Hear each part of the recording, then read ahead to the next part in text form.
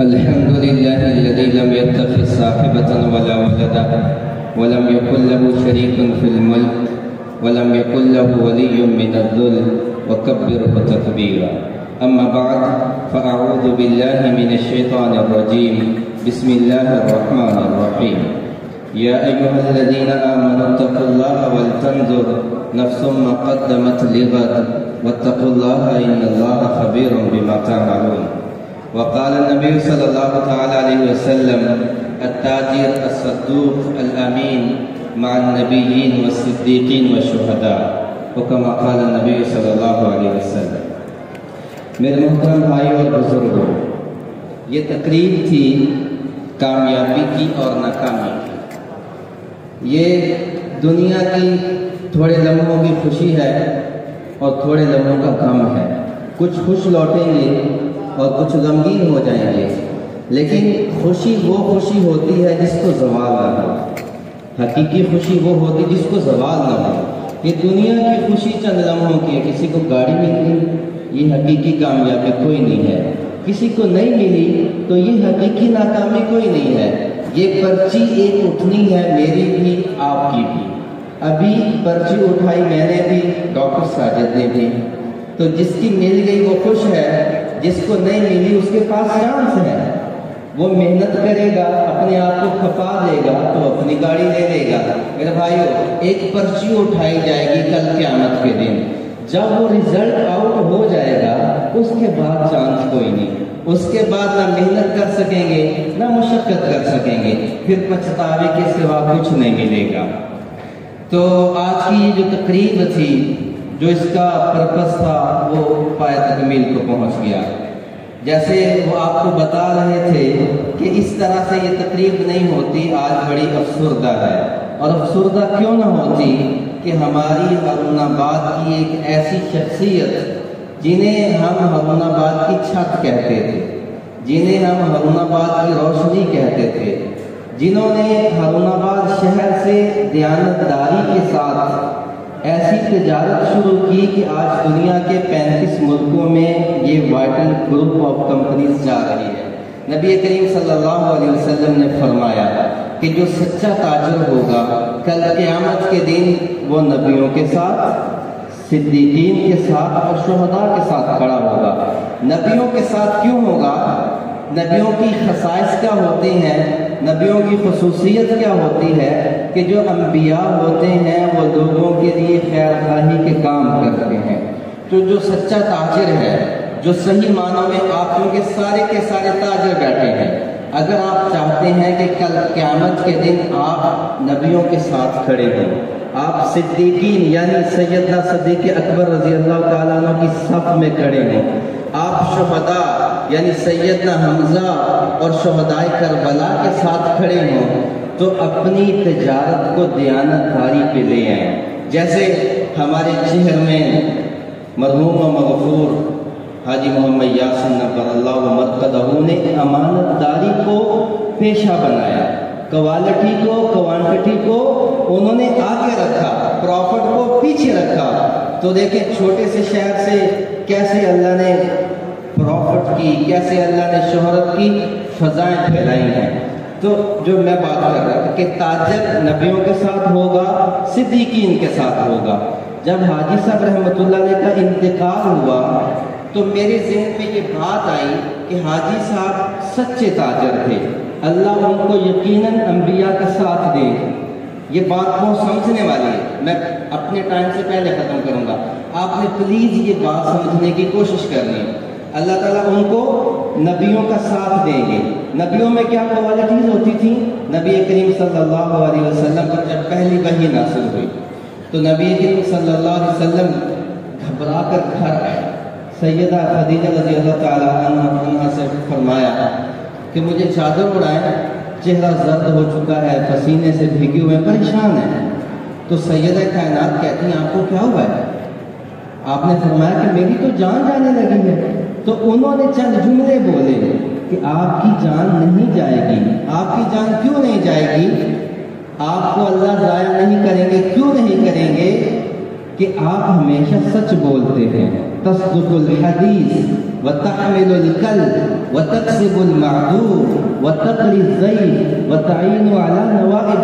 ये खसूसियात शुमार की रसूल अल्लाह अल्लाह आपको ज़ाया नहीं करेंगे, आपकी जान नहीं जाएगी, क्यों नहीं जाएगी? आप हमेशा सच बोलते हैं, आप गरीबों की मदद करते हैं, आप मेहमानों की मेहमान नवाजी करते हैं, आप लोगों की मदद के लिए खड़े हो जाते हैं। हमारे हाजी साहब रहमत मेहमान नवाजी का आलम यह है कि आज भी हरुणाबाद की सरजमीन पे छः हज़ार लोग रोज़ाना खाना हाजी साहब की मदद का आलम यह है कि आज भी लाखों रुपए की अद्वियात, बिला तफरीक लोग रोज़ाना लेकर जा रहे हैं। और मेहमान नवाजी का आलम यह कि लोग खाने खाते हैं। और आपकी सच्चाई का आलम यह है कि वाइटल चाय उसका मुँह बोलता सबूत। और सैदना सदीक अकबर रज़ी अल्लाह तु के अंदर भी यही खसाइश थे। तो अल्लाह ताला उनको अम्बिया का साथ भी देगा, हमारा यकीन है। सैदना सदीक अकबर रज़ी अल्लाह तु का साथ देगा यानी सिद्दीकीन का हमारा यकीन है, आखिरी बात कि जो सच्चा ताजिर होगा, वो शहदा के साथ हो अभी मैं आपसे बात भी कर रहा था। एक हदीस मैंने पढ़ी रात ही पढ़ी। एक सहाबी अब्दुल्ला बिन साबित रज़ी अल्लाह तु वो फौत हो गए। नबी करीम वसल्लम उनके घर गए। उनकी एक ही बेटी थी और बेटी आँसू बहा रही और वो कहती है, या रसूल अल्लाह मुझे लगता था कि मेरे वालिद मेरे वालिद अल्लाह के रस्ते में शहीद होंगे, लेकिन इनको तो मौत चारपाई पे आ गई है। तो नबी करीम सल्लल्लाहु अलैहि वसल्लम ने पूछा, तुम्हारे अब्बा को क्या हुआ था? तो वो कहने लगे, या रसूलुल्लाह, इन्हें सरतान था, यानी कैंसर था कैंसर था। तो नबी करीम सल्लल्लाहु अलैहि वसल्लम ने फरमाया, तुम क्या समझते हो कि सिर्फ़ जो बंदा अल्लाह के रास्ते में तलवार से काटा जाए, वो शहीद होगा? साहबा ने कहा, या हम तो यही समझते कि वही शहीद होगा। तो आपने फरमाया, नहीं, जो ताउन में मर गया, वो भी शहीद। जो डूब के जिसको मौत आ गई, वही शहीद। और जिसको कैंसर के मर्ज में मौत आ गई, अल्लाह ताला उसको भी शहदा के साथ खड़ा खड़ा करें तो तीन बातें हैं। हाजी साहब ने सदाकत और दयानत को कंपनी के अंदर डाला, इसका हिस्सा बनाया, अपनी तजारत का हिस्सा बनाया और उनके पेश जो हैं, वो भी इस पे कायम है। और इंशाल्लाह ये कंपनी ऐसे ही चलती रहेगी। तो अमानत, दयानत, सदाकत के बदले नबियों का साथ, सिद्दीकीन का साथ और शहदा का साथ। तो ये थी खसाइस आप सब ताजर बैठे हैं। आप सब, एक सहाबी नबी करीम सल्लल्लाहु अलैहि वसल्लम की खिदमत में आए। तो आप तजारत में इरशाद फरमा रहे थे। आप गुफ्तु करते करते आपने ये फरमाया कि अगर कोई बंदा सौदा बेचता है, कोई चीज़ बेचता है, लेने वाला ले जाता है और घर जाकर उसे लगता है कि मैंने ये घाटे का सौदा कर लिया, मुझे इस चीज़ वापस देनी चाहिए। वो चीज़ लेकर वापस आता है बेचने वाले के पास। बेचने वाला खुशी से चीज़ वापस लेता है तो उसके पैसे उसको लौटा देता है। तो ऐसे बंदे के लिए अल्लाह जन्नत के दरवाजे खोल देगा। ताजर के लिए। एक सहाबी बैठे थे, उन्होंने ये हदीस सुनी तो उन्होंने जाकर मदीना के बाज़ार में दुकान खोल ली। कोई काम शुरू कर लिया। काम शुरू किया, दिनों और हफ्तों में उनका काम मदीना के, उनका नाम मदीना के मशहूर ताजरों में आ गया। एक दिन यूँ हुआ कि सुबह उनकी दुकान को लोगों ने बंद पाया। लोग गए चीज़ लेने के लिए, ख़रीदने के लिए, क्योंकि वो सहाबी रसूल थे। जब दुकान न खुली तो वो लोग मस्जिद में आए, नबी करीम सल्लल्लाहु अलैहि वसल्लम की खिदमत में कि, या रसूल अल्लाह फलां बंदा वो तिजारत करता था। तो आज उसकी दुकान बंद पड़ी है, आप उसको बुलाएँ। नबी करीम सल्लल्लाहु अलैहि वसल्लम ने उसे बुलाया और पूछा, भाई, ये लोग कहते हैं कि तुमने अपना काम छोड़ दिया है? कहीं रसूलुल्लाह छोड़ दिया। क्यों छोड़ा है? कहीं रसूलुल्लाह, या रसूलुल्लाह। आपसे सुना था कि कोई बंदा अगर चीज़ ले जाए, फिर लौटा दे और बेचने वाला वापस रख ले तो उसके लिए जन्नत वाजिब है। जब मैंने ये हदीस सुनी तो आपकी बशारत का मुस्तक बनने के लिए मैंने ये काम शुरू किया था। काम ऐसा बड़ा कि महीनों और सालों में कोई चीज़ लेने वाला वापस ही कोई नहीं आया। अल्लाह मेरी किस्मत जागी कि रात एक ग्राहक वापस आ गया। मैंने उससे चीज़ वापस ले ली। आपके फरमान, आपकी बशारत का मुस्तक बन गया और मैंने काम छोड़ दिया। आयुष गए वादा फरदा लेकर। अब उन्हें ढूंढ, चरागे रुख जेबा लेकर। हमारे हाजी साहब रहमत ऐसे ही थे। उन्होंने ऐसा ही काम किया था। तो मैं अपने टाइम से पहले आपसे इजाज़त चाहता हूँ और ये चंद बातें Haji Mohammad Yasin chairman Vital group of companies Allah उनकी कब्र पे करोड़ रहमत नाजल फरमाए। और यकीनन वो जन्नत में हैं वो अल्लाह से सौदा ऐसा करके गए थे। उनको मैं ये शेर डेडिकेट करके इजाज़त चाहूँगा। तेरी महफिल भी गई, चाहने वाले भी गए। शब की आहें भी गईं, और सुबह के नाले भी गए। दिल तुझे दे भी गए, अल्लाह को। दिल तुझे दे भी गए और अपना सिला ले भी गए। सिला क्या ले गए? काश आप उनका जनाजा देखते का, काश आप हरुणाबाद की सरजमीन पे भीगी आँखें देखते। काश आप वहाँ बूढ़ी औरतों के बहते आँसू देखते। तो आपको पता चलता कि ये फर्द नहीं था ये एक अंजुमन थी। ये शख्सियत नहीं था ये एक अहद था। ये एक अहद था ये एक अहद था एक जमाना गुजारा वो कौन थे? वो रेत जोते चेहरों पे मुस्कुराहट लेकर आते थे। वो दुखी इंसानियत की दर्दों का मुदावा करते थे।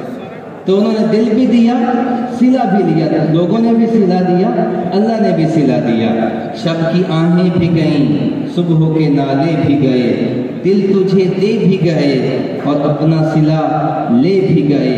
आके बैठे न थे, आके बैठे न थे और निकाले भी गए। हमें तो यूँ लगता है, वो कल आए थे और आज दुनिया वीरान करके चले गए।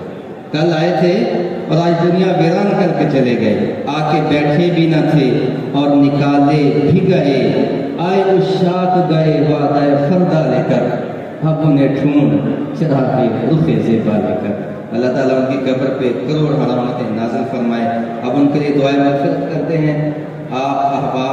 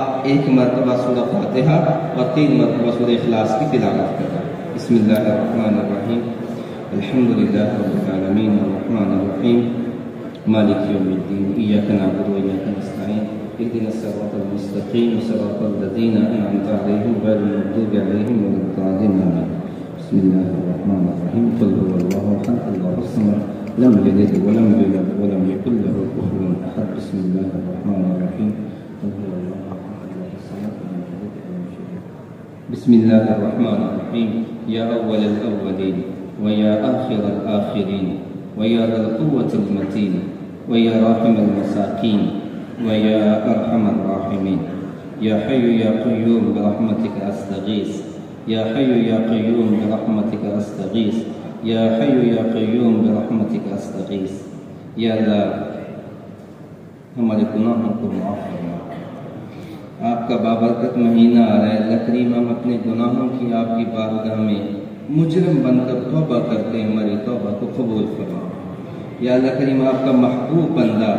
है मेरे मौला, आपका महबूब बंदा। आपकी इंसानियत, आपकी मखलूक का दिल में दर्द रखने वाला। आपकी मखलूक के दुखों का मुदावा करने वाला। मेरे अल्लाह, वो आपके पास चला वो क्या गया अल्लाह हमारा शहर ही बयान कर दिया हमारी आँखों को गीला कर गया। या अरुणाबाद की सरजमीन की बहती आँखें आप उस बंदे के लिए दुआ गो हैं और दुआ गो रहेंगी अल्लाह करीम। हम भी अपने गुनागार हाथों के साथ हाजी मोहम्मद यासीन रहमत के लिए दुआएँ मगफरत करते हैं। हमारी दुआ को उनके हक में कबूल करना अल्लाह करीम उनकी कब्र को बागान जन्नत में से बाहर बना। करवट करवट राहत नसीब फरमा।